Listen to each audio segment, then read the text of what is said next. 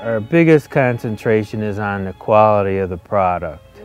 Uh, we make sure that it's rooted very well, it has a good top, and it has customer appeal.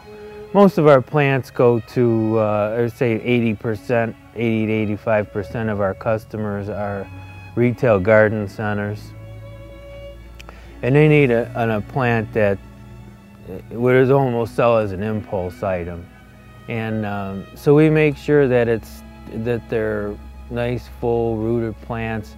They're grown outside so that they have sturdy foliage. They're used to the wind blowing through them, uh, which is, encourages stronger branching and a more compact plant.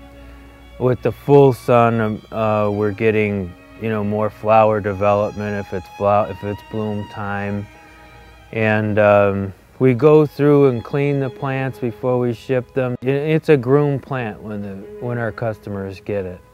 We um, propagate quite a few of our plants. I would say uh, most of the plants that can be propagated by seed or cuttings. So we go through the propagation stage and then we go through our first transplant, which is usually in a flat, um, anywhere from flat of 36 or a flat of 12. And then from there, that plant's put into the, the gallon container. So we go through probably the, uh, an extra step than most growers will. Most growers will go from the propagation plug right into the gallon. We have different steps and in that process we're cutting tops back, promoting branching and in a stronger root system.